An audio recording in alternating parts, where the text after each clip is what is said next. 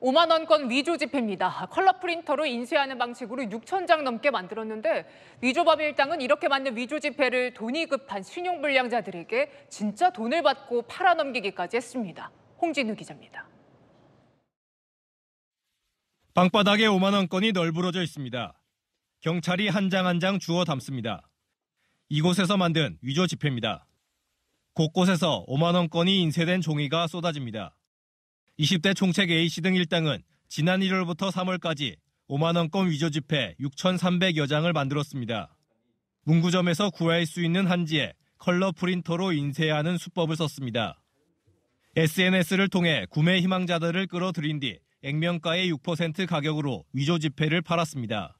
도박이나 사채로 인한 신용 불량자들이 주 고객이었습니다. 이번에 유통된 그 위조 지폐는 젊은 아이들이 그 사이버 도박이라든가 이런 데서 빈 빚을 탕감할 용도로 그렇게 주로 사용한 것으로 추정됩니다. 이 중엔 인터넷 도박으로 수천만 원 빚을 진 고등학생도 있었습니다. 숙박업소에서 위조 지폐로 대실 요금을 낸 뒤 현금으로 거스름 돈을 받다 덜미가 잡혔습니다. 일부 위조 지폐는 마약 구매 등 불법 거래에 사용된 정황도 드러났습니다.